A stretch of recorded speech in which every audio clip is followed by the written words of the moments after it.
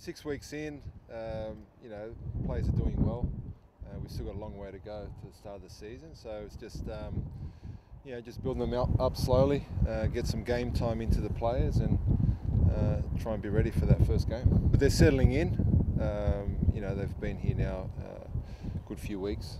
Uh, uh, Brendan was the last one that arrived, but no, they're, they're settling in well. You know, and you know, we expect big things from them this year, and uh, you know, they're, they're, here with a smile on their face, which is important, and um, you know, they're enjoying being part of the club, and we're enjoying having them here. Um, you know, he's obviously that would have given him a lot of confidence. He's a young player, and you know that, that would have helped him a lot to get a to get a goal for the Socceroos, special, and one I'm sure he'll always remember. And you know, we'll, we'll try and help him uh, develop into a very good player, and hopefully there'll be many more goals for the Socceroos and also for the Wanderers. I think it's great for the boy to, to get that recognition and you know that's um, he's had a taste of it now. He, he, can see what he has to do to, to get to the top, and um, you know he's working very hard. And you know the boy wants to improve his game, and you know we're here to help him develop into a very good player.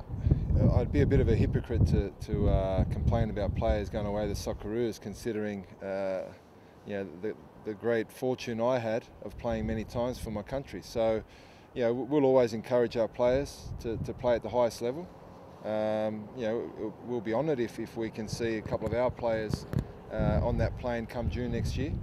And uh, part of that is obviously preparation for the Socceroos. Uh, that's obviously up to Holger to decide whether he'll select any of our players, but uh, I'm sure he has our players in his sights, and that's great for our club.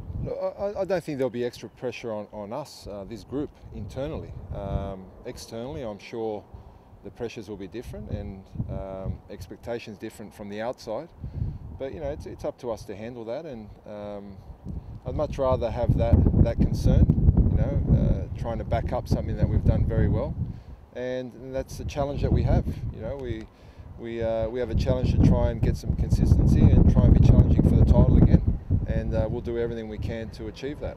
Of course, well, those numbers obviously indi indicate how uh, how huge the support is for this football club, and you know, we're we're actually uh, honoured and privileged to be a part of that.